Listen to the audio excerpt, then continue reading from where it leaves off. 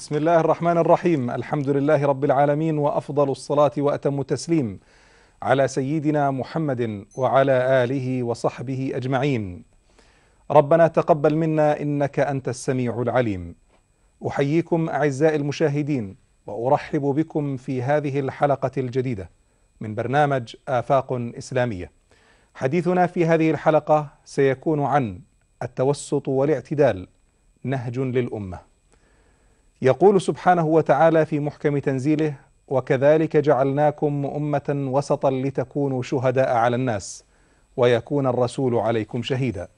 صدق الله العظيم. ظهرت في الآونة الأخيرة دعوات إلى الوسطية وإلى الاعتدال وإلى نبذ الغلو والتطرف.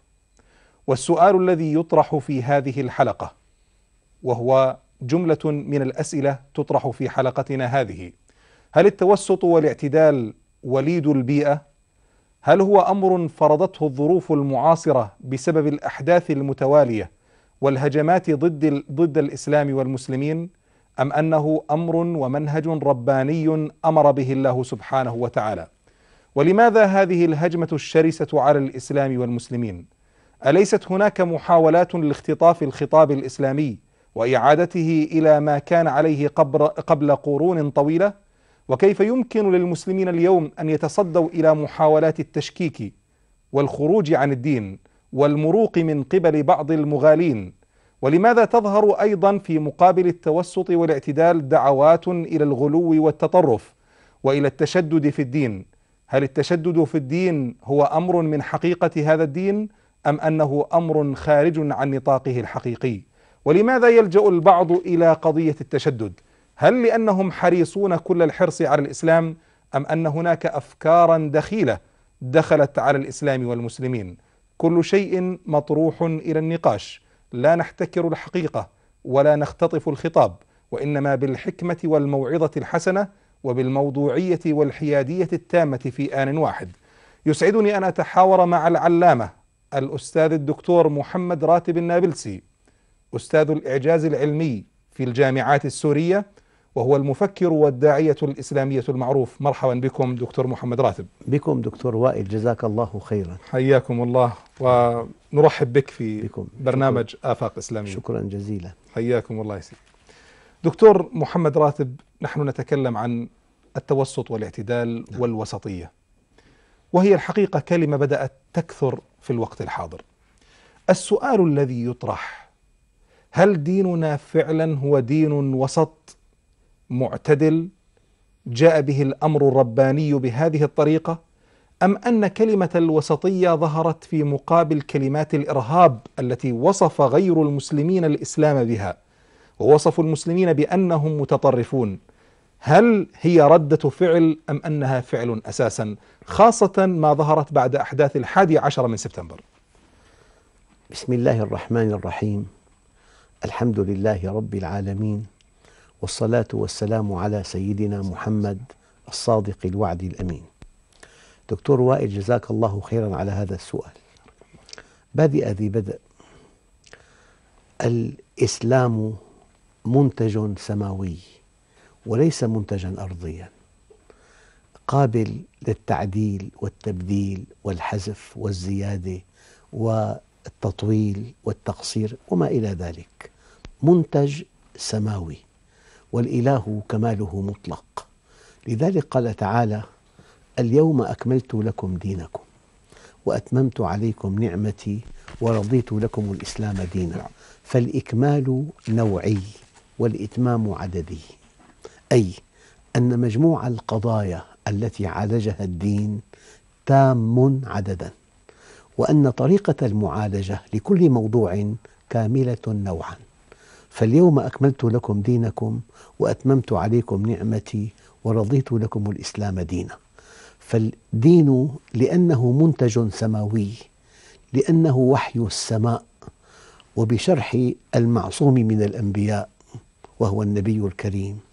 فهذا الدين لا يقبل الزيادة ولا الحذف ولا الإضافة ولا التعديل ولا التطوير ولا التغيير. لذلك تلخص كل هذه الكلمات بكلمة واحدة دين توقيفي. نعم. آه، الشيء الدقيق أن هذا الدين التوقيفي أمرنا أن نحافظ عليه أن نتبعه لا أن نضيف عليه. لذلك الكلمات التي تطرح اليوم حول التجديد في الدين أنا لا أفهم التجديد إلا بالتعريف التالي. أن أنزع عن الدين كل ما علق به مما ليس منه. إن صح أن جميل. هناك تجديدا في الدين فهو أن ننزع عن الدين كل ما علق به مما ليس منه. ولكن الذي حدث أن بعضا من المسلمين في وقت ما اهتموا بالنصوص وبالأحكام الفقهية وأهملوا الجانب الأساسي في الدين وهو التزكية.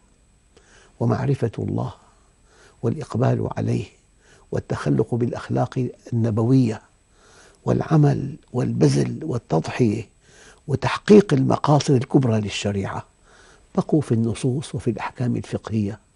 فظهر كرد فعل على هذا التطرف أناس اهتموا بتطهير القلب وتزكية النفس وأهملوا العلم الشرعي فوقعوا في تطرف آخر. جميل جميل جدا. فالذي أراه أن كل تطرف قاد إلى تطرف. قاد إلى تطرف نعم. ثم جاء حينما هؤلاء الذين اهتموا بالقلب وكان العلماء يسمون علماء القلوب واهتموا بالصلة بالله وأهملوا الشرع وقعوا في شطحات لا تحتمل. فظهر المتشددون الذين اعتمدوا الكتاب والسنة دون أي زيادة.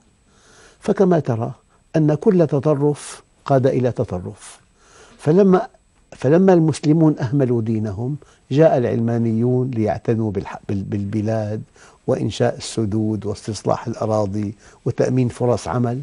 فالذي أراه أن هناك إسلاما فقط الذي جاء به النبي العدنان منهج كامل نعم. متوازن يجمع بين الدنيا والآخرة وبين الفرد والمجتمع وبين المادة والروح. نعم. ويبدأ من فراش الزوجية وينتهي بالعلاقات الدولية. نعم. لكن على كل لما أردنا أن ننفي عن الإسلام إغراقه في الجماليات وتركه للأساسيات أردنا أن نسمي هذه الحركة بالمنهج الوسطي المعتدل. فكأن التطرف السابق تارة إلى النص وإهمالا للروح وتارة إلى الروح إهمال للنص وتارة إلى الدنيا المتوازنة مع الآخرة هذه التطورات دعتنا أو فرضت علينا أن نقول إسلام وسطي جميل. إسلام معتدل كي ننفي عنه كل نعم. تطرف لكن أليس في أصله هو يعني الإسلام وسطي في أصله. هو من عند الخالق. آه. نزل بهذه الطريقة. ولا ينبئك مثل خبير. نعم. هو الخبير بسعادتنا. هو الخبير بطرق سلامتنا وسعادتنا. هو الخبير بما يصلحنا. هو الخبير في حجم العبادات. نعم. هناك من يخترع عبادات لا أصل لها. صحيح. فيقع الإنسان في حرج كبير. نعم. فأنا أرى أن أصل الإسلام وسطي إن صح التعبير. معتدل جميل. متوازن يجمع بين كل العوامل والظروف. جميل. يعني ذكر الدكتور بأن التجديد هو النزع عن الإسلام ما ليس منه. آه، يعني هل هذا الكلام يعني أننا لا نطور في أس... يعني أين موقع الثابت والمتغير في الإسلام؟ دكتور وائل جزاك الله خيرا. أنا أتصور أن في الإسلام ثوابت. في الإنسان ثوابت وفيه متغيرات حتى في الإنسان في الإنسان. جميل يعني الإنسان الذي يعيش الآن في المدينة لو أعطيته كيس قمح ماذا يفعل به؟ عبء عليه أين سيغسله؟ أين سيطحنه؟ أين سيخبزه؟ شيء فوق طاقته أعطي هذا الكيس لإنسان في القرية يأكل منه خبزا طوال العام نعم فلذلك هناك بيئات مختلفة بيئات مدنية بيئات ريفية بيئات غنية بيئات فقيرة. هناك هناك اختلاف في البيئات في التصورات في الثقافات. ففي, ففي الإنسان جانب متغير. هذا الجانب المتغير غطاه الإله العظيم بنصوص ظنية الدلالة. تحتمل معاني كثيرة. جميل. والله أراد كل هذه المعاني. إذا مقصودة أن تكون هناك طبعاً. نصوص ظنية الدلالة. هناك ظن... نصوص ظنية الدلالة. والعقول والأفهام وكان متفاوتة من الممكن أن تكون جميع نصوص القرآن الكريم قطعية. قطعية الدلالة. جميل. وكذلك نصوص السنة. أما وآتوا الزكاة يا ترى الزكاة نقدا أم عينا؟ بحسب البيئة. بالمدينة أعطه مالا. لكن كمبدأ موجودة الزكاة. كأصل نعم. ثابتة. أما طريقة أدائها نقدا أو عينا هي تفرضها البيئة وتفرضها النصوص الظنية التي تحتمل كل المعاني. أما أنا كإنسان حينما أنطق بنص ظني أقصد معنى واحد لكن من ضعفي باللغة جاءت العبارة فضفاضة. يعني مثلا أنا حينما أقول لإنسان أعطي زيدا ألفا وخمسمائة درهم هذا النص قطع الدلالة.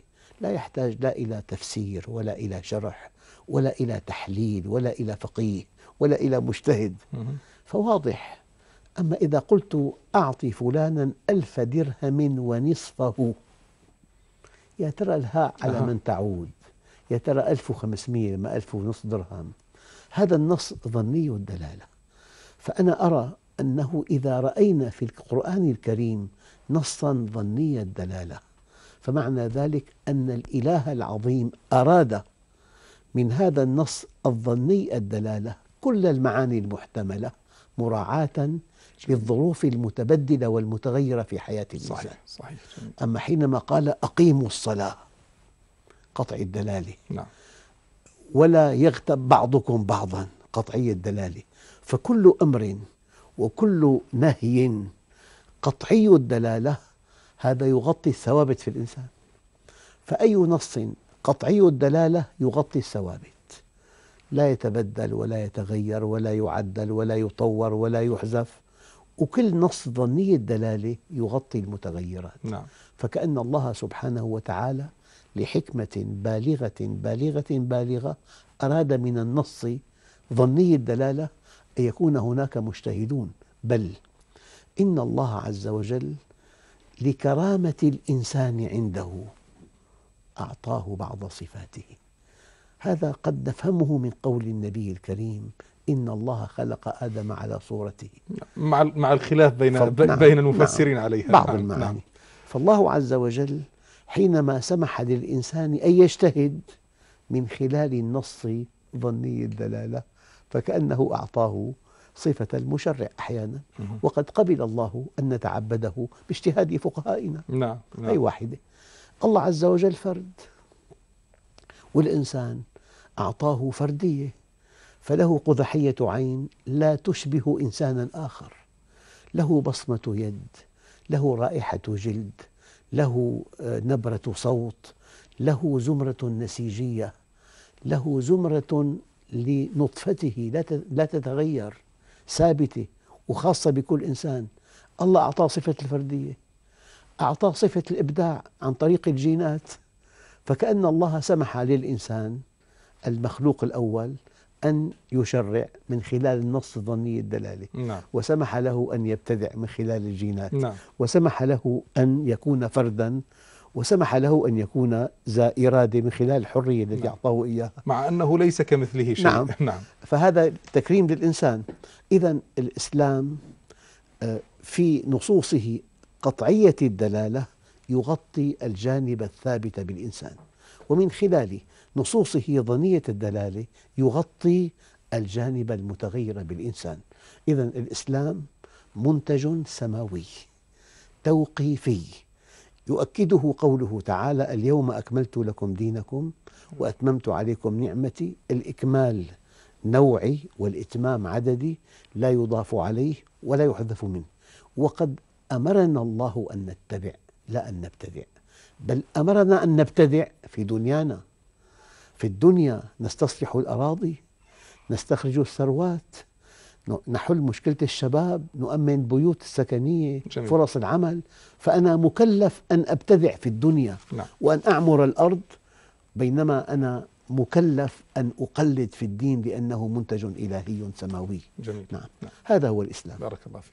طب يعني آه، فضيلة الدكتور يعني ال- الإسلام يجمع بين كونه انسانيا وبين كونه واقعيا ومثاليا وأيضا يجمع بين الشمولية الربانية نعم. العالمية قضايا كثيرة يجمعها الإسلام وتشعر أنه لم يغرق في كون الإنسان مثاليا لم يرفعه ليصبح نعم. الإنسان ملاكا وفي الوقت ذاته لم ينظر إليه على أنه شهواني ولم ينظر كما نظرت إليه بعض البيئات الأخرى أنه كال- ك- كشهوات الحيوانات وغيرها ولكنه استطاع أن يجمع بين كل هذه القضايا ليكون الإسلام وسطيا ومعتدلا ضمن هذا الاعتدال. كيف استطاع الإسلام أن يجمع بين كل هذه الخصائص عند. الإنسان وأن يحافظ في الوقت ذاته على أنه هداية ورحمة للعالمين. دكتور وائل جزاك الله خيرا أنت ذكرت بأول كلمتك مجموعة كلمات أنه الإنسان الإسلام رباني والإسلام إنساني والإسلام رحماني كلمات رائعة لو وقفنا عندها قليلا الإسلام رباني. يعني هذا الدين من عند الله. أي إنسان إذا شرع ينتفع بتشريعه. تنشأ أحقاد. عظمة الإسلام أن التشريع من عند الله. وأننا جميعا أمام هذا التشريع سواء. نعم. بينما إن كان المشرع إنسان. في الأعم الأغلب سيشرع لمصلحته. نعم. وسينشأ له خصوم. لذلك في المنهج الأرضي هناك واضع القانون ذكي والمواطن أذكى وهي معركة بين واضع القانون وبين الإنسان. فعلا. يعني نحن أردنا أن نحدد السرعة في أمريكا. وضعنا أجهزة تلتقط السرعات الزائدة. صنع الإنسان جهاز يكشف هذا الجهاز. الآن الدولة في صدد صناعة جهاز يكشف جهاز السيارات. ها إذا هي معركة لا تنتهي. صحيح. بين واضع القانون وبين منفذ القانون. ولكن حينما أمرنا الله بالصيام ويكون الإنسان في بيته وحده وأمام صنبور ماء بارد ويكاد يموت من العطش هل يمكن أن يضع في فمه قطرة ماء؟ أبدا. هذا هو التشريع الإلهي لو أنه قانون فرض الصيام على الأمة كم إنسان من؟ الذي سيلتزم؟ لا أحد نعم. يلتزم لأنه يجب, في يجب أن نعلم أنه آه، الدين له أثر في المجتمع كبير جدا. وحينما نعلم أن لهذا الدين هذا الأثر نستخدم الدين كمنهج رباني لتطوير حياتنا. ألا يساهم هذا في حل مشاكل المجتمع طبعاً، أيضا؟ نفسه؟ طبعا. ألا يساهم أيضا في تطبيق القانون وهو أدعى إلى إلى الالتزام يعني لما بأحكام القانون؟ لما سيدنا ابن عمر امتحن راعيا قال له بعني هذه الشاة. وخذ ثمنها قال له ليست لي. قال له قل لصاحبها ماتت. قال له والله إنني لفي أشد الحاجة إلى ثمنها. ولو قلت لصاحبها ماتت أو أكلها الذئب لصدقني فإني عنده صادق أمين. ولكن أين الله؟ الله. لما قطعت الكهرباء في مدينة بأمريكا ارتكبت مئتا ألف سرقة بليلة واحدة. صحيح. كلفتها 30 مليار. صحيح. فإذا الاستقامة هناك إلكترونية. نعم. وليست دينية. جميل هذا التعبير. استقامة إلكترونية. فنحن حينما نؤمن بهذا الدين يكون الوازع الداخلي وحينما نطبق القانون يكون الرادع الخارجي. وفرق كبير بين الوازع والرادع.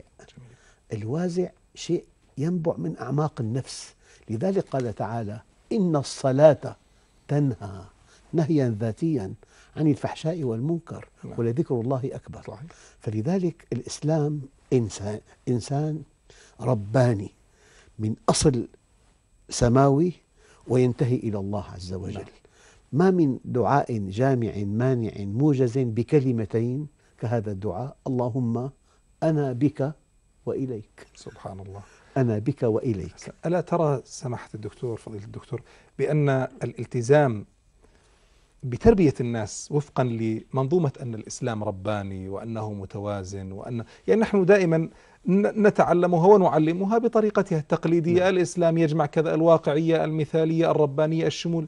لو أنها أصبحت منهجا للأمة أليست كفيلة بأن تحل مشكلات الأمن في داخل أبداً المجتمعات أبدا. مثلا. يعني الإسلام ألي ألي الشيء الذي يحقق الأمن للمجتمعات هو الإسلام؟ نعم. بالتزامه بهذه الطريقة؟ نعم. يعني الإسلام الآن إنساني يصلح لكل زمان ومكان وينتفع به كل إنسان. بل إن الإسلام الإنساني منهج موضوعي. لو طبقه الملحد لقطف ثماره. نعم. لو طبقه الملحد. أنا أرى هذا صحيح. أن كل إيجابيات العالم الغربي التي نعجب بها هي إسلامية لأن أصحابها حكموا عقولهم ففعلوا شيئا عاد عليهم بالربح الجزيل. أنا أقول أكثر إيجابيات العالم الغربي إسلامية لا لأنهم يعبدون الله بل لأنهم يعبدون الدولار من دون الله. إيجابيات إسلامية. فالإسلام إنساني ما مثلا حينما أعتني بشعبي عناية تفوق حد الخيال كالعالم الغربي وحينما أقصف المدن والقرى من أجل حجة غير صحيحة حينما أنهب الثروات للعالم الثالث حينما أقهر شباب العالم الثالث. أنا ماذا فعلت؟ أنا لست إنسانيا أنا كنت مهتم بمجتمعي فقط. عظمة هذا الدين أنه إنساني وهو صالح لكل مكان وزمان وصالح لكل إنسان وينتفع ينتفع به كل إنسان. فلو طبقنا هذا المنهج لانتفع به الجميع. والنبي الكريم يقول من غش فليس, فليس منا ما صحيح. قال من غشنا في من غشنا بس الأوسع من غش. فليس منا وتصديق لما تتفضلون به دكتور محمد راتب النابلسي يعني تصديقا لهذا الكلام أن المدن المفتوحة والبلدان المفتوحة كانت في صدر الدولة الإسلامية قد وصل بها من الرقي الحضاري أضعاف أضعاف ما كان في مراكز الخلافة الإسلامية نعم. ولم تأتي لنهب ثروات الشعوب نعم. ولا لانتزاعها الحملات التنويرية والثقافية نعم. كانت مولودة مباشرة دكتور وائل الإسلام واقعي بمعنى من تعريفات العلم البسيطة أنها علاقة بين متغيرين مقطوع بصحتها تطابق الواقع عليها دليل. لو ألغينا الدليل لكان تقليدا لو ألغينا الواقع لكان جهلا لو ألغينا القطع لكان وهما أو ظنا أو ظنا ظنا أو وهما أو شكا. فالعلم ليس وهما ولا ظنا ولا شكا ولا تقليدا ولا مخالفا للواقع بل من تعريف أقصر العلم الوصف المطابق للواقع مع الدليل. فالإسلام واقعي بمعنى أنه ينطلق من الواقع. لذلك هناك كلام مثلا مثل حالمة واقع مر. الإسلام عظمته أنه قرب المثالية من الواقع فصار هناك مصطلح اسمه الواقعية المثالية والمثالية الواقعية. فنحن ننطلق من الواقع. بل ونرفض الواقع السيء. والذين إذا أصابهم البغي هم ينتصرون. نعم. بل ونبدل الواقع بأدوات واقعية. صحيح. فالإسلام واقعي. ينطلق من الواقع ويرفض الواقع السيء ويبدل الواقع السيء بأدوات واقعية. جميل. فالإسلام إنساني والإسلام رباني والإسلام واقعي. ولأنه كذلك كان دين دين النهوض بالأمم جميل. وصالح لكل مكان وزمان نعم. الآن بمجلس الشيوخ الإفرنسي كلف لجنة أن تدرس المصارف الإسلامية فكان الجواب أن هذه المصارف مع أنها تحرم الربا أي تحرم الفائدة الثابتة كل طرف شريك بالأرباح والخسائر الكاملة نعم. وتحرم الزنا وما يتبع الزنا لكنها صالحة لكل مجتمع في أوروبا وتنصح هذه اللجنة الحكومة الإفرنسية أن تكثر من إقامة البنوك الإسلامية على التراب الإفرنسي صحيح صحيح فالآن ما الذي يحدث؟ الله قال سنريهم آياتنا في الآفاق نعم. يعني انهيار النظام العالمي أحد أكبر آيات الله الدالة على عظمته لأنه لأنه الإسلام سمح لنا أن نتاجر بالسلع والخدمات نعم. ولم يسمح لنا أن نتاجر بالثمن والنظام العالمي الغربي المالي قائم على المتاجرة بالثمن. هذه المتاجرة بالثمن أودت بمصائب لا تنتهي وقد أقول لم تبدأ بعد. هناك احتمال أن يكون خمسين مليون وظيفة شاغرة في أمريكا لنهاية هذا العام. شركات عملاقة حوالي 650 ألف فقط شركات عملاقة تعلن إفلاسها لأنه نظام بني على المتاجرة بالقيمة. نعم. يعني أكبر بنك أفلس أول بنك أفلس وأكبر بنك هذا عمره 155 سنة لأنه يشتري الديون وعندنا في الدين ببساطة بالغة الدين لا يباع لا ولا. يشترى نعم. إذا نهى عن بيع بالكالئ. تظهر آيات الله عز وجل تظهر في مجالات شتى لذلك من حين لآخر الله عز وجل يرينا آياته هذه الآيات جرعة منعشة لنا. يعني نحن أنا كنت كنت أخشى أن يص- يصاب المسلمون بثقافة اليأس أو ثقافة الإحباط أو ثقافة الطريق المسدود. لكن حينما تأتي آيات الله تؤكد عظمة هذا الدين أو تنصر قلة قليلة على كثرة كثيرة هذا من شأنه أن يعطينا جرعة منعشة. صحيح بارك الله فيك. طب دكتور يعني قضية ال- التوسط والاعتدال ماذا نعني بكلمة الوسطية؟ نعم. يعني في مادية مقيتة في روحانية حالمة. فالإسلام بين المادية المقيتة والروحانية الحالمة. كل شيء مادي شيء لا يحتمل وكل شيء روحاني لا يحتمل.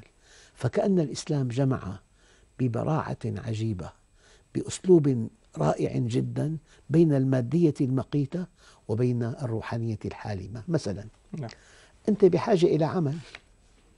عملك الذي ترتزق منه. عملك أي مهنتك والأصح حرفتك. العمل الذي ترتزق منه إذا كان في الأصل مشروعا. وسلكت به الطرق المشروعة. وابتغيت منه كفاية نفسك وأهلك وخدمة الناس.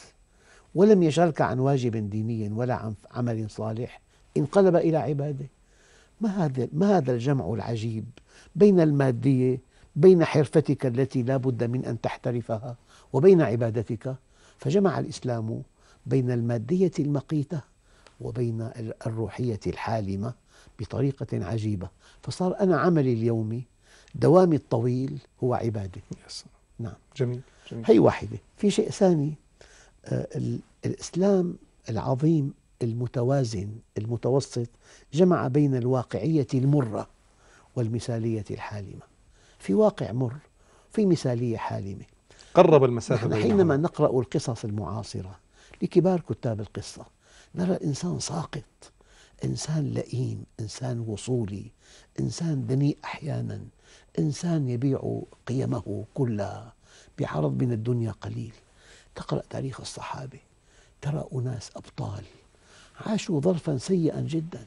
النبي الكريم قال أوذيت في الله وما أوذي أحد مثلي. وخفت في الله وما خاف أحد مثلي. نعم. وأتى علي ثلاثون يوما لم يدخل جوفي إلا ما يواريه إبط بلال. فالصحابة عاشوا وا- واقعا مرا لكن باتصالهم بالله مزجوا بين هذا الواقع المر وبين إقبالهم على الله عز وجل. لذلك قال بعض العارفين بالله لو يعلم الملوك ما نحن عليه لقاتلونا عليها بالسيوف. الإنسان دكتور وائل الإنسان له فطرة. والمنهج الإلهي متوافق مع الفطرة توافق مذهل مذهل. يعني أي أمر أمرك الله به برمجك عليه ولفك عليه فطرك عليه جبلك عليه كلمات لمؤدى واحد جميل. فأنت حينما تطيع الله تلتقي مع نفسك تصطلح مع نفسك أو حينما تصطلح مع نفسك تلتقي مع منهج الله. فأقم وجهك للدين حنيفا. فطرة, فطرة الله. التي فطر الناس عليها. ما هذه الروعة؟ أن الإنسان قال تعالى ونفس وما سواها فألهمها فجورها وتقواها. يعني ألهمها حينما تفجر أنها فجرت. من دون معلم. يعرف الإنسان أبدا. نفسه. معرفة ذاتية. الآن الطائرات الحديثة جدا. الشاشات اللوحات أمام الطيار شافة بيضاء. إذا في خطأ بيظهر. بيظهر آليا. ما في حاجة أن تتابعه أنت. أها. أنا أؤمن أن الإنسان مبرمج برمجة من أعلى مستوى بحيث لو أخطأ لحاك هذا في صدره وكره أن يطلع عليه الناس. فكل إنسان عنده فطرة. ومن هنا جاء الحديث. أبدا. الإثم, الاسم ما حاك في صدرك. والبر ما اطمأنت إليه النفس. ما الذي يسعدك أن تكون في طاعة الله؟ ما الذي يقلقك أن تكون في معصيته؟ لذلك قال تعالى ونفس وما سواها فألهمها فجورها وتقواها أي ألهمها حينما تفجر أنها فجرت سبحان الله. وحينما تتقي أنها اتقت. فهذا موضوع الفطرة موضوع من أروع ما في الدين. فأقم وجهك للدين حنيفا فطرة الله التي فطر الناس عليها. فبين المادية المقيتة والمثالية الحالمة بين الواقع المر بين المثل العليا هذا في جمع عجيب جدا جميل. فنحن حينما نعود إلى حقيقة الإسلام نراه معتدلا متوازنا وسطا بين طرفين بدون أي تكلف من دون أي تكلف نعم. نعم. مجسات داخلية نعم. عند نعم. الإنسان نعم. تقوده إلى هذه نعم. التوسط والإعتدال في ثبات رتيب نعم. في تغير مضطرب نعم. يعني أنا مرة كنت بأمريكا قال لي كنا بمؤتمر إسلامي بيقول لي أحد المؤتمرين هنا في أمريكا ما في شيء مقابل للبحث والرفض ما في شيء مقدس إطلاقا أما نحن في ديننا عندنا ثوابت نعم. نحن في عندنا متغيرات عندنا أشياء قابلة للدراسة بس في أشياء فوق مستوى طبعا. الدراسة طبعا. أصول الدين مه. فأنا لما بيكون في أصول لحياتنا بالمناسبة دكتور وائل الله عز وجل أعطانا تفسير عميق أو تصور أو عقيدة أسماء لمسمى واحد آه، شمولي. يقدم لك التفسير العميق والدقيق والمتناسق للكون والحياة والإنسان. هي حالة اسمها أمن عقدي. إن نحن ما في عنا مفاجآت. جميع التطورات التي تظهر لصالح ديننا. من خمسين سنة وقادم. ما في حدث خطير ظهر بالعالم إلا أكد ديننا. نعم. الاتحاد السوفيتي قبل أن ينهار. حرم الخمر. الآن النظام العالمي الجديد بيقول مدير البنك الدولي لقد انهار النظام المالي الغربي. فنحن أي حدث قادم يعني مفاجآت ما في. أي حدث نعم. قادم يقوي إيماننا بديننا. صحيح. صحيح أنا بذكر أنه في رئيس وزراء فرنسي انتحر. أكثر من مئة صحافي كتبوا عن سبب انتحاره. ما في سبب. من أرقى عوائل باريس. ولم يقع في فضيحة لا مالية ولا جنسية. وانتحر. اهتدى صحفي واحد من من بين مئة صحفي إلى سبب انتحاره. هو عاش بس انتحر في السبعين وكان ملحد. اكتشف قبل أن ينتحر أن لهذا الكون إلها عظيما. احتقر نفسه. كيف كان ملحد لسبعين سنة ماضية؟ فعالج الخطأ بالخطأ. نحن ما عندنا إطلاقا بحياتنا. حدث يظهر في العالم ينقض قرآننا نعم. أو ينقض ديننا لا يزيدك إلا قوة. مع أنه, مع أنه التطور العلمي من آدم لقبل خمسين سنة بكفي ومن خمسين للآن بكفي ثانية. نعم. مع كل هذه التطورات يعني مثلا هناك من يتوهم أنه المنحرف أخلاقيا الشاذ في عنده جينات شاذة. لكن أنت بإيمانك ما بتقبل الكلام. أنه الله خلق بالإنسان جينات شاذة. بيحاسبه بعدين. الإله عادل. عادل هذا في ظلم. كلينتون قبل أن تنتهي ولايته آه، أطلق قنبلة علمية اسمها الخارطة الجينية. الخبر الذي أنا لا أصدق أنني سمعته قال لا علاقة للجينات بالسلوك. لا علاقة للجينات أبدا أبدا. الانحراف خطأ. نعم. ارتكبه الإنسان. وثبت هذا الأمر. ثبت نعم. أبدا. نعم. حقيقة علمية. نعم. فأنا أقول أنه في عندنا حالة اسمها أمن عقدي. يعني لن يظهر في مستقبل الأيام شيء يناقض ديننا. جميل. أنت عم تقرأ قرآن والخيل والبغالة والحمير تركبوها وزينة راكب طيارة أنت 777 درجة أولى. المقعد بصير سرير أمامك كل الصحف والمجلات. 20 30 قناة أمامك إخبارية. الطعام والشراب. وفي الفضاء. ب 40 ألف قدم بسرعة ألف كيلومتر بالساعة. عم تقرأ والخيل والبغال والحمير تركبوها. وزينة. أنتم كلام الله عز وجل ويخلق ما لا تعلمون. ما لا تعلم نعم. تغطي بارك الله فيك. ما, ما في مشكلة إطلاقا. يعني مثلا رائد فضاء صعد إلى نعم. السماء. اسمح لي دكتور نعم. محمد راتب نعم. سنعود ولكن معنا فاصل. ماشي. أعزائي المشاهدين نعود إليكم بعد الفاصل فابقوا معنا.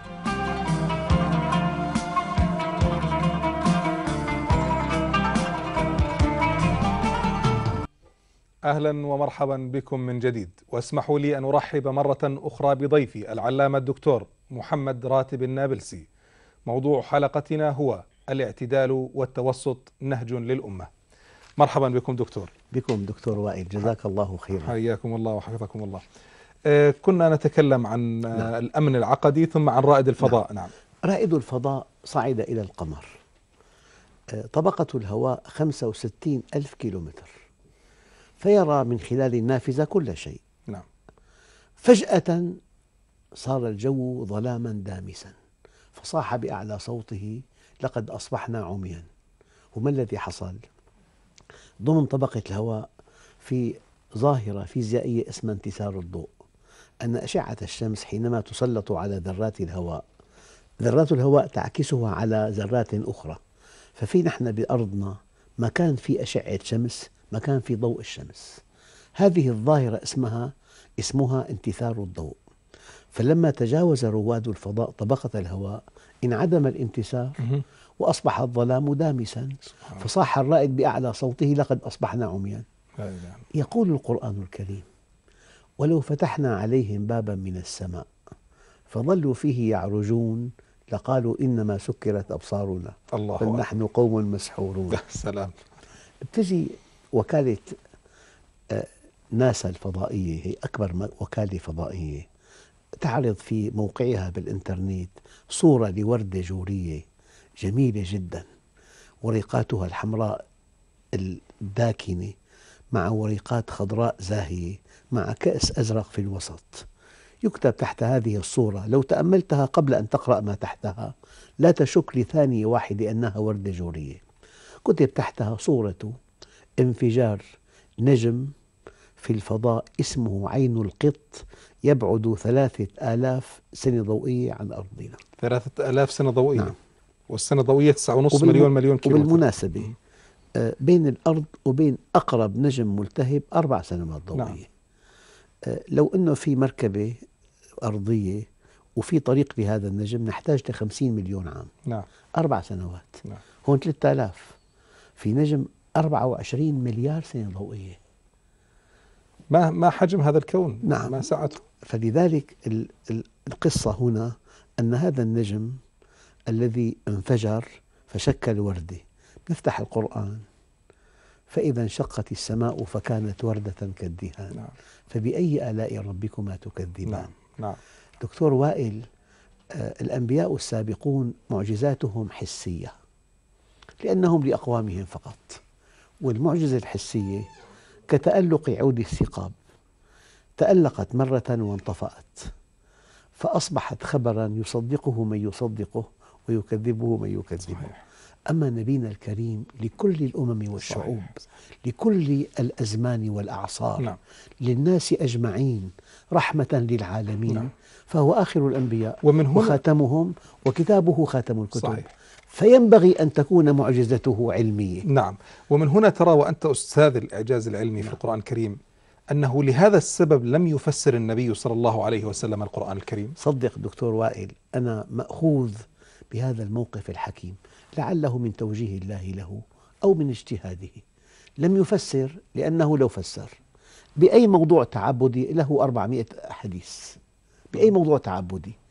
أما ولا حديث حول 1300 آية بالقرآن قال بعض العلماء لو أنه فسرها تفسير مبسط لأنكرنا عليه نعم نعم لو فسرها لم تفسير يستوعب نعم. الحقائق لو فسرها تفسير بيتناسب مع ما أراه الله من آياته الكبرى لأنكر عليه أصحابه نعم. تركت نعم. للعلم فكلما تقدم العلم كشف عن جانب من هذه الآيات المعجزة ومن هنا بقي صالحا لكل زمان ومكان وخالدا إلى يوم القيامة. لذلك قال سيدنا علي رضي الله عنه في القرآن آيات لما تفسر بعد. لما تفسر بعد. نعم نعم. بارك الله فيكم. آه، دكتور يعني آه، لماذا اختار الله سبحانه وتعالى كلمة الوسطية لتكون شعارا لهذه الأمة؟ نعم. هل لأن الوسط هو القوة؟ أشعة الشمس والشمس تكون في أوجها عندما تكون في الوسط؟ الإنسان يكون في أقوى حالاته عندما يكون شابا, شاباً. فهو في الوسط. نعم. لماذا اختار الله عز وجل هذه الكلمة لهذه الأمة؟ هل لأنها ستكون أقوى الأمم؟ أنا أرى أن لهذه الكلمة معاني كثيرة. نعم. كلها مقبولة. أحد معانيها العدل. العدل. العدل. يعني في كلمة قال بعض العلماء إن الله ينصر الأمة الكافرة العادلة على الأمة المسلمة الظالمة.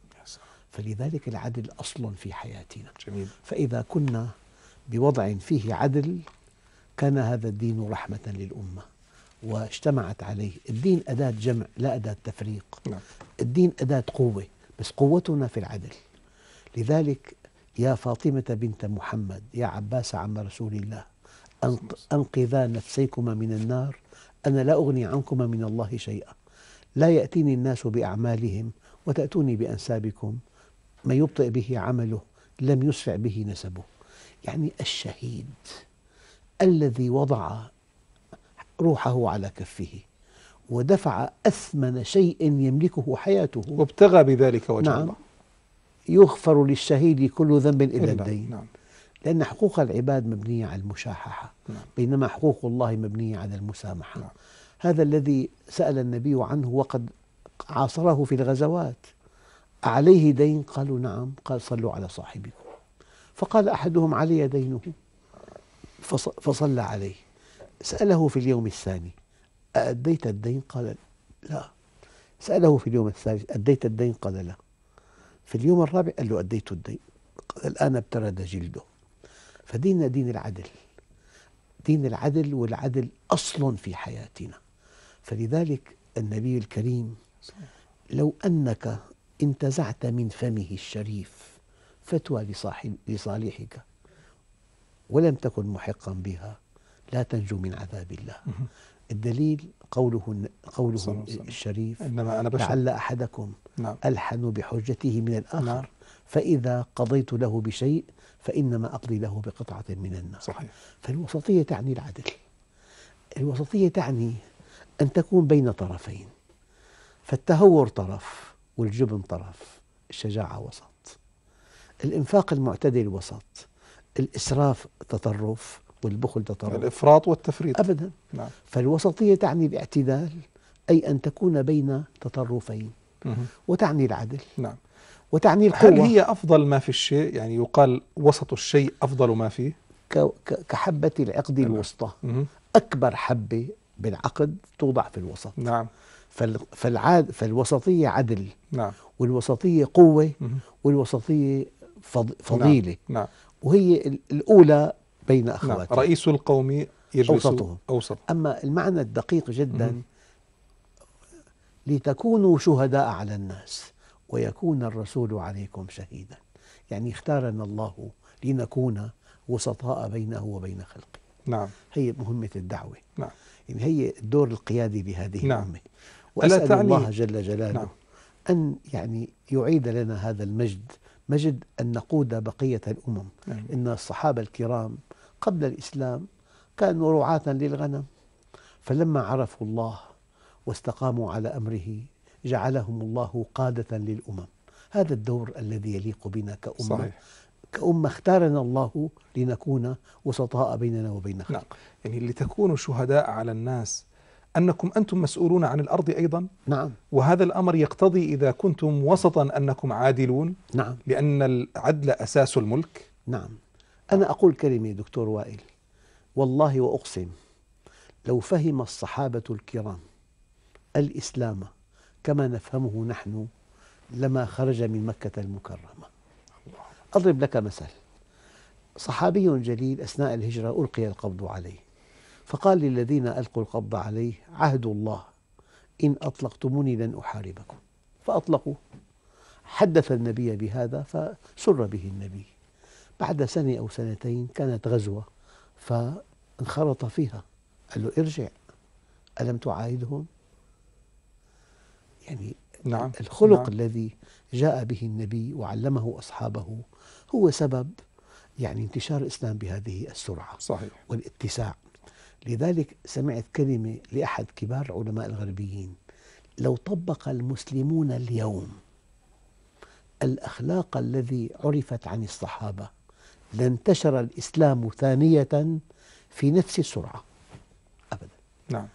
المشكلة أخلاق. صحيح. يعني الطرف الآخر لا تعنيه عبادتنا مهم. تعنيه أخلاقنا. لذلك الله عز وجل حينما وصف القرآن وصف النبي الكريم قال وإنك لعلى خلق عظيم. وإنما بعثت معلما إنما بعثت لأتمم مكارم الأخلاق. جميل جميل. نعم. دكتور يعني ال- الوسطية لها أو التوسط له مظاهر متعددة في الإسلام منها في الجانب العقدي منها في جانب المعاملات منها في جانب العبادات.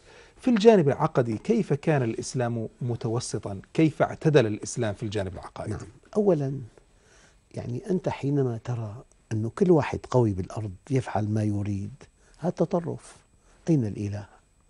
أين عدله؟ أين إشرافه على الكون؟ أين ألوهيته؟ فلذلك لا يعقل ولا يقبل أن يقع في الكون شيء لا يعلم الله به أو لم يريده من هنا أقول هذه المقولة الدقيقة كل شيء وقع أراده الله بمعنى سمح به وقد قال العلماء أراد ولم يأمر أراد ولم يرضى. وكل شيء أراده الله وقع. أما الدقة البالغة وإرادة الله متعلقة بالحكمة المطلقة. والحكمة المطلقة متعلقة بالخير المطلق. إذا الوسطية بالاعتقاد أن الأمر بيد الله والإنسان يحاسب على عمله. كيف نجمع بينهما؟ إن الذين جاءوا بالإفك عصبة منكم لا تحسبوه شرا لكم بل هو خير. الأمر بيد الله عز وجل. سمح به. حديث الإفك سمح به. وكان بإمكانه أن يمنعه. وقد يتوهم المتوهم أن الذي روجه ليس آثما. قال والذي تولى كبره له عذاب عظيم. فهو التوسط أنه الله أكد لك أن الأمر بيده. ولم يعفك من المسؤولية. هذا التوسط. في إنسان يوحد بسذاجة يتوهم أن التوحيد يعفيه من مسؤولية وفي إنسان يرى أن الله لا علاقة له بالكون مع أن الله عز وجل من آيات التوحيد وهو الذي في السماء إله وفي الأرض إله. الله عز وجل ما لكم من دونه من ولي ولا يشرك في حكمه أحدا. إليه يرجع الأمر كله فاعبده وتوكل عليه. آيات التوحيد واضحة جدا وآيات المسؤولية واضحة جدا. فإما أن يحاسب الإنسان ويظن أنه الإله ما له علاقة بما يجري أو أنه الأمر كله بيده ونحن ما لنا علاقة بشيء. نعم لا. نعم. كلاهما في تطرف. فال- فالعقيدة التوحيد هي وسط بين التوحيد المجرد وبين المسؤولية التي مناطة بالإنسان. جميل. يعني حتى في قضية النظرة إلى الكون بين أولئك الذين اعتبروا أن الوجود هو أساس كل شيء وبين أولئك الذين فنوا أنفسهم وزهدوا في هذا نعم. الكون. كيف أيضا رتب الإسلام هذه العلاقة؟ مثلا أنا أقول منطلقا من هذه الفكرة. حينما رأى النبي الهلال الهلال قال هلال خير ورشد. كلام دقيق موجز لكنه يعني أن هذا الهلال وأي شيء آخر خلقه الله له وظيفتان وظيفة نفعية ووظيفة إرشادية. أنا أرى أن العالم الغربي انتفع انتفاعا لا حدود له من الوظيفة الأولى. سخر كل الثروات لينتفع بها. والمسلم يرى أن هذه الآيات تعرفه بالله. نعم. فانتفع من الوظيفة الإرشادية. لكن الوضع الوسطي أن تنتفع من كليهما. يعني أن تستخدم هذا الكون لمعرفة الله وأن تستخدمه لحل مشكلات المجتمع. نعم. يعني استصلاح الأراضي إنشاء السدود هذا كله من أجل المجتمع. قلت في البداية الله عز وجل يريدنا أن نبتدع في دنيانا نعم. وأن نحل مشكلاتنا وأن نتبع في ديننا. لا العكس. فالذي حصل؟ قلدنا في دنيانا وابتدعنا في ديننا. نعم. فإذا حتى في موضوع الكون هناك من ينتفع به فقط كالغربيين وهناك من يع- يعرفه بالله فقط دون أن ينتفع به. جميل. الوسط أن نتعرف إلى الله من خلاله وأن ننتفع به في جميل. حياتنا دكتور محمد راتب النابلسي كيف يمكننا أن نسقط التوسط والاعتدال على وقتنا الحاضر؟ كيف يمكننا أن نسقطها على مناهجها على على تعليمنا؟ أيضا على ممارساتنا اليومية. كيف يمكن أن تصبح منهجا وليست شعارا ممجوجا في بعض الحالات؟ سئل بعض الأدباء الشرقيين ماذا نأخذ وماذا ندع من حضارة الغربيين؟ نعم. قال نأخذ ما في رؤوسهم وندع ما في نفوسهم. نعم نعم. إحساسنا ملكنا وإحساسهم ملكهم والثقافة قاسم مشترك بيننا. بل قال إن ثقافة أية أمة ملك البشرية جمعاء. لأنها بمثابة عسل استخلص من زهرات مختلف الشعوب على مر الأجيال. وهل من المعقول إذا لدغتنا جماعة من النحل أن نقاطع عسلها؟ نعم هذا موقف متوسط. صحيح. أنا مثلا في الحديث عن مقاطعة مع أمريكا أنا أؤمن أن الكمبيوترات والبرامج العلمية والموسوعات نأخذها. هذه تقوينا. نعم. أما المستهلكات لها ما يماثلها مطاعم مثلا سيارات في أشياء نعم. تماثلها لكن في. قضايا لا, لا أما في قضايا. أنا آخذها شئت أم أبيت نعم. من أجل قوتنا نعم فلذلك التوسط فيما نأخذ ماذا ندع نأخذ ما في رؤوسهم ندع ما في نفوسهم نعم. لأن ثقافة أية أمة ملك البشرية جمعاء جميل لأنها بمثابة عسل استخلص من زهرات مختلف الشعوب على مر الأجيال نعم وهل إذا لدغتنا جماعة من النحل أن نقاطع عسلها لا لا نعم. نقاطع عسلها نعم. نعم. هذا الموقف المتوسط صحيح. هل يمكن أن نقول بأن التعليم يمكن أن يؤخذ من الغرب ولكن التربية تؤخذ من بلادنا نعم. العربية والإسلامية يعني دائما وأبدا في عنا قيم وعنا معلومات المعلومات قاسم مشترك ولا خلاف حول المعلومات يعني الشمس والقمر والنجوم وقوانين الفيزياء لا يختلف عليها اثنان هذه مضطردة وشاملة أما القيم والمبادئ لنا قيمنا ولهم قيمهم. يعني في أشياء يفعلها الغربيون لا يمكن أن تطبق عندنا. نحن دكتور وائل على بقية أخلاق عالية جدا. أنا أقول بقية يعني في عنا بقية مروءة بقية غيرة بقية تواصل أسري. مرة أحد رؤساء أمريكا قال تهددنا أخطار خمسة. فأنا قفز إلى ذهني قبل أن يتابع حديثه أنه التجمع الأوروبي مثلا اليابان الصين.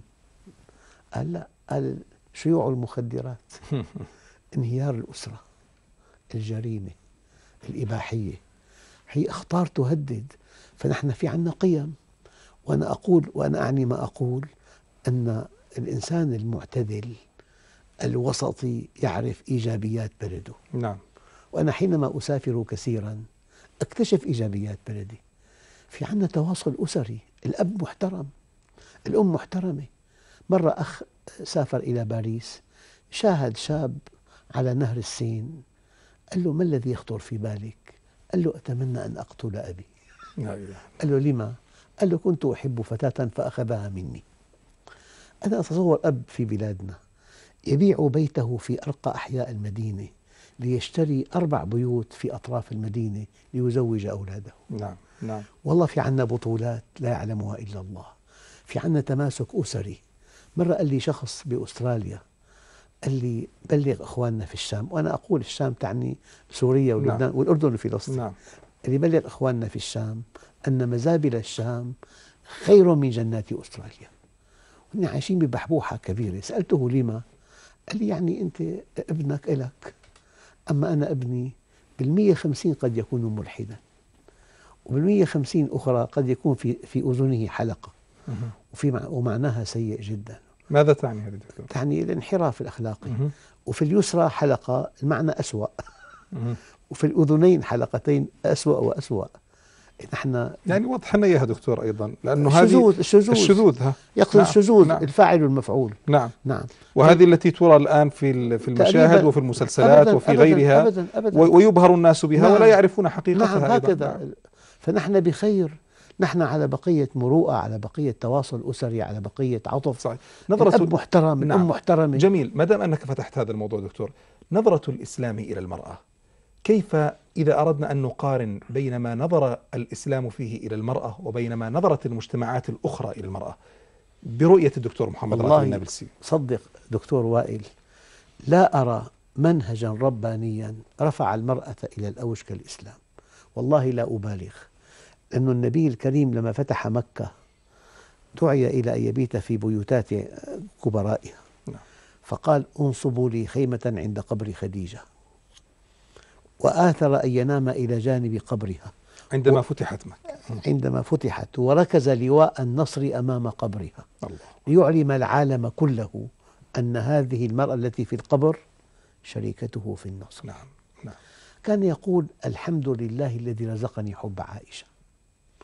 كان يقول أكرموا النساء فوالله ما أكرمهن إلا كريم ولا أهانهن إلا لئيم يغلبن كل كريم ويغلبهن لئيم. كان عليه الصلاة والسلام يعني إذا دخل بيته بساما ضحاكا.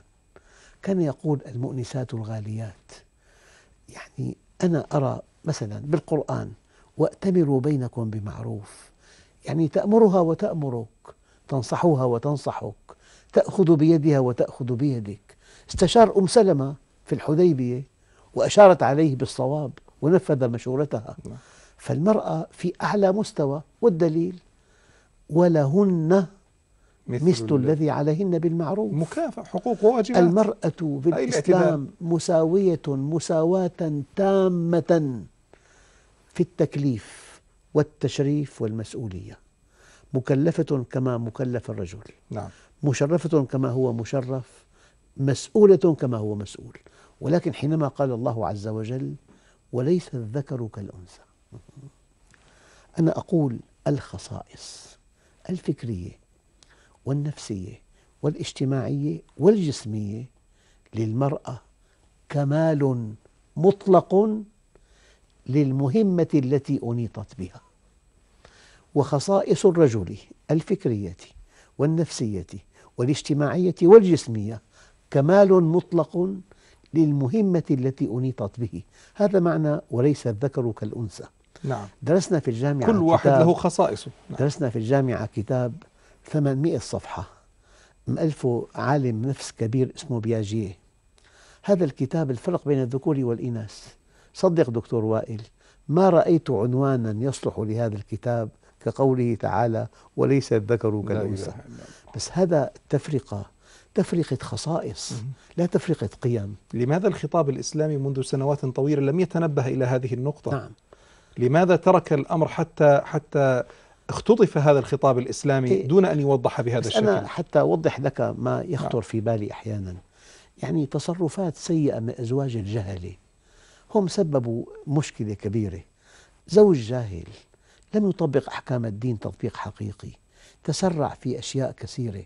فسبب مشكلة هي نحن كنا في غنى عنها لو كان الأزواج على علم أو على دراية بحقائق هذا الدين. صحيح. يعني امرأة واحدة إن رأت الهلال يمكن أن يصوم مليار وخمسمائة مليون مسلم بشهادتها. نعم. بشهادتها. ففي عنا بس في أحيانا موقف معادي للدين. فهناك أشياء مغالطات تستخدم للانتقاص من الدين. لماذا لا نبني دكتور محمد راتب النابلسي أرضية مشتركة لنقل للغرب بأنه اليوم مدعو إلى نظام نتفاهم به سويا على أساس كلمة سواء على أساس قضية المرأة أم أن هناك عوائق أيضا وعوامل وهناك محاولات لتهميش المسلمين وعدم إظهار هذه الحقائق عن دينهم وعن المرأة؟ أنا بخبرتي المتواضعة سافرت إلى ألمانيا وإلى الصين بوفد رسمي. وجدت أن مخاطبة هؤلاء أجدى ألف مرة من مخاطبة المسلمين في بلاد الغرب. هؤلاء نحن وإياهم طرف واحد. أما هذا طرف آخر هذا خاضع للدعاية الصهيونية السيئة. هذا عنده تصورات عن المسلمين خطيرة جدا. أنا أمضيت عشر أيام في ألمانيا وكذلك في الصين. وكان لقاءاتنا مع مع القيادات الدينية المسيحية والسياسية والأكاديمية. فشعرت أنه واجب الدعاة إلى الله أن ينطلقوا إلى الطرف الآخر ليعرفوه بهذا الإسلام العظيم. الطرف الآخر منطقي بس خاضع لدعايات صهيونية خطيرة جدا. نعم.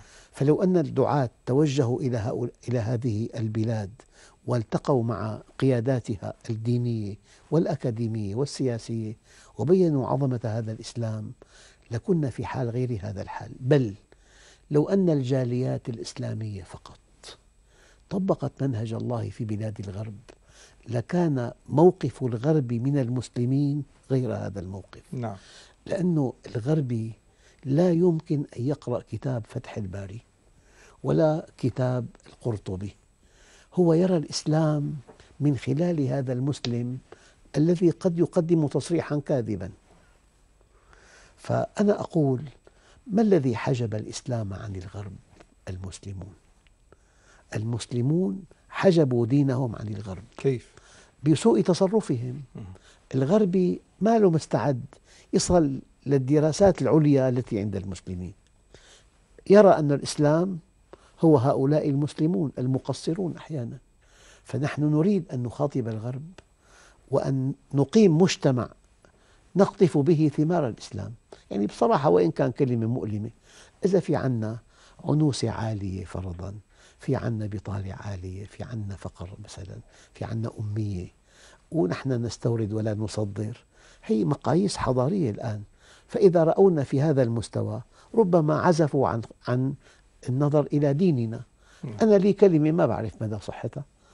أقول إن لم تتفوق في دنياك اليوم لا يحترم دينك. نعم.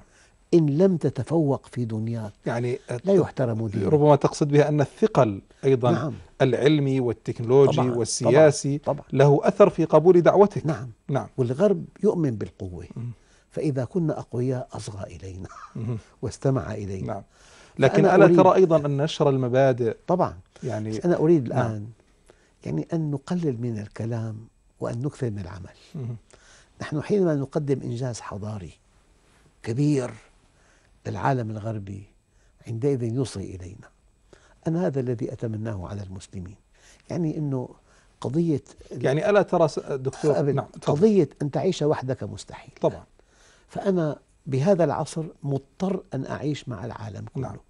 والعالم كله متواصل. نعم. كان العالم خمس قارات هلأ صار قارة صار بلد صار مدينة صار قرية. صار بيت صار غرفة صار سطح مكتب. نعم نعم. الآن ما يجري في العالم تراه بعد ثانية صحيح. فالعالم متواصل الآن. فنحن مكشوفون. نعم. والآخر مكشوف أمامنا. صحيح. يعني دكتور آه، يعني هل ترى أن الإنجاز الحضاري الذي يمكن أن يقدمه المسلمون اليوم يمكن أن نستغل الأزمة المالية العالمية والانهيار المالي طبعاً. العالمي لنقدم لهم بديلا راقيا في النظام الإسلامي؟ سيدي كنت مرة مندوب سوريا في مؤتمر إسلامي في القاهرة. هذا المؤتمر شعاره إنسانية الحضارة الإسلامية. فأنا آخر مداخلة كانت لي. قلت لهم نحن سبعون دولة إسلامية وقد أنفقتم أموالا طائلة حتى عقد هذا المؤتمر. وهيأنا كلمات تعبنا بها كثيرا وهي مؤصلة وألقيناها ولاقت قبولا رائعا وصفقوا وصفق لنا كثيرا. ولكن ماذا فعلنا؟ قلت لهم أقسم لكم بالله لم نفعل شيئا. لأننا جميعا طرف واحد. نعم. والطرف الآخر المعني بهذا المؤتمر نخاطب غائب, بعضنا. غائب عنا. نعم. نعم صحيح. كنت أتمنى أن ننشئ محطة فضائية تخاطب الغرب بلغته وبوسائل إقناعه. لكن لكان هذا العمل أكثر جدوى. أو لو دعوتم علماء من الغرب إلى هذا المؤتمر والحقيقة في المؤتمر الثاني دعوا آه، خمسة عشر عالما غربيا تنفيذا لهذه الوصية. يعني أنا أريد نحن الآن لا يمكن أن نعيش وحدنا. لا بد من أن نعيش مع بقية أنحاء العالم. نعم. إذا لا بد من مخاطبته. نعم. لا بد من أن نخرج من ولسنا قوقعة انعزاليين أصلا. نعم، نعم. بالعكس نحن منفتحون. وهذا, وهذا الأصل في إسلامنا. والعالم الغربي يعني إقناعه ليس صعبا لكن يحتاج إلى مصداقية. صحيح. طيب دكتور يعني إحنا لم يبقى معنا وقت طويل نعم. ويعني في جعبتي الكثير مما أحب أن نعم. أن أناقشك به ونستغل أيضا وجودك في هذا البرنامج لكن قبل أن أختم أريد يعني أن نطوف على الإعجاز العلمي نعم في القرآن الكريم ولك يعني فكرة رائعة ورؤية جميلة جدا في حديث النبي صلى الله عليه وسلم في قضية ذبح الشاة نعم. كيف أنها تذبح بطريقة معينة ما هو الإعجاز العلمي الذي يراه الدكتور محمد راتب النابلسي في هذه؟ الحقيقة أنه النبي الكريم له توجيه نعم.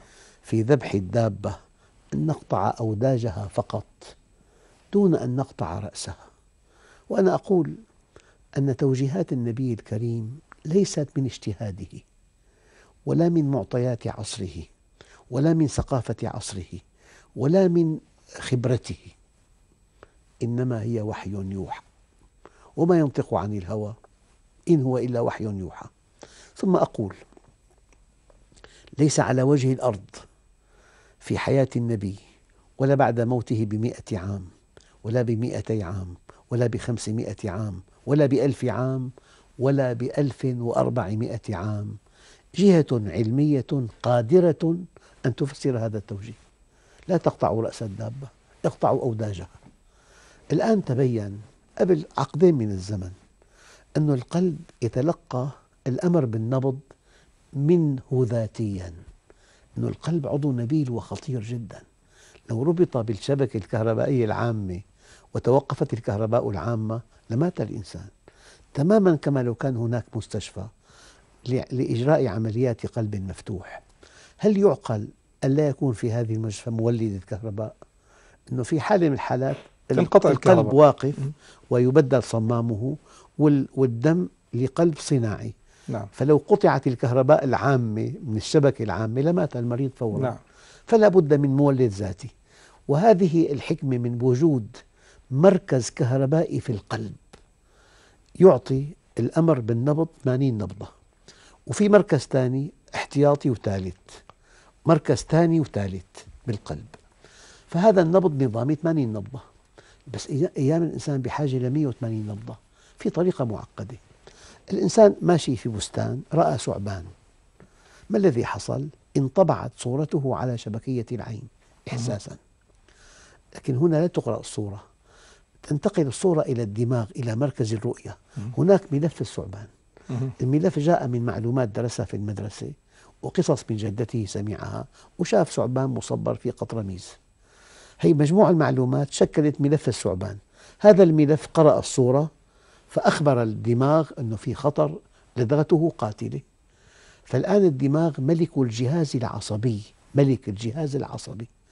الدماغ يلتمس من ملكة الجهاز الهرموني الغدة, الغدة النخامية ملكة. أن أن تواجه الخطر. هذه الملكة عندها وزير داخلية اسمه الكظر فوق الكلية. هذا القذر الكظر يرسل خمس أوامر مباشرة. أول أمر يرفع نبض القلب ل 180 نبضة. الأمر الثاني يرفع وجيب الرئتين. نعم. فالخائف نبضه مرتفع 180 وهو يلهث والأمر الثالث الثالث إلى الأوعية المحيطة بالجسم تضيق لمعتها فيصفر لون هذا الخائف. والأمر الرابع إلى الكبد لإطلاق سكر إضافي في 300 ميلي غرام بالسكر. أثناء الخوف وأمر خامس لإطلاق هرمون التجلط نعم. هذا يجري في, دق... في ثواني. الآن لو طبقنا هذا على الدابة إذا قطعنا رأسها لبقي القلب ينبض بأمر منه ذاتيا 80 نبضة فقط. لا يخرج من الدم إلى خارج الدابة إلا ربع الدم. إذا بقي الرأس موصولا عمل الأمر الاستثنائي من الدماغ إلى النخامية إلى الكظر إلى القلب. النبض صار 180 نبضة. ال 180 تخرج كل الدم. نعم. فلذلك الدم أخطر شيء بالدابة وهي مجمع السموم ومجمع الأمراض كل الدم. نعم. والدم نجس إذا سفح أو دما مسفوحا. نعم. فلذلك حينما وجه النبي أصحابه إلى قطع أوداج الدابة دون قطع رأسها بمعنى أنه أبقى الوظيفة المعقدة الثانية للقلب حينما يتلقى أمر من الدماغ عن طريق الكظر نعم. برفع النبض وبالتالي يخرج وبالتالي كل الدماء الدم الموجودة كله فيه. يخرج هي الحكمة التي نعم وهذا ما لم. يتوصل إليه نعم. ربما نعم. أحدث المراكز والبحوث كل مسالخ العالم نعم تعلق الدابة من من رجليها وتقطع رأسها كليا آه. ويبقى معظم الدم فيها نعم سبحان الله العظيم يعني الحقيقة هذه آخر شيء لنتحدث في الإعجاز العلمي. الذي نحبه نعم. لكن في قضية الاعتدال والتوسط الأمة الإسلامية مدعوة اليوم لإنجاز حضاري متقدم يصبو بها إلى مراقي المجد والفلاح وأيضا أن تقدمه إلى الغرب وبدلا من أن نطالب وأن نقول اعملوا كذا واعملوا كذا لنقل لنأتي إلى مراكز البحث العلمي نعم. لنفتح الجامعات نعم. لنرى العلماء الربانيين يتكلمون نعم. بما يرضي الله سبحانه وتعالى لنقدم مشروعا حضاريا إلى هذه الأمة وأمتنا إن شاء الله ماضية في مشروعها متقدمة وإن نصر الله قريب إن شاء الله تعالى. ولأننا أمة وسط بمعنى وسطاء نعم. بين الله وخلقه. وبين خلقه. بارك الله فيكم. أشكرك آه، الدكتور العلامة الدكتور محمد راتب النابلسي المفكر الإسلامي والداعية الإسلامي المعروف. كما أشكركم أعزائي المشاهدين على حسن متابعتكم. هذا محدثكم وائل عربيات يستودعكم الله. والسلام عليكم ورحمة الله وبركاته.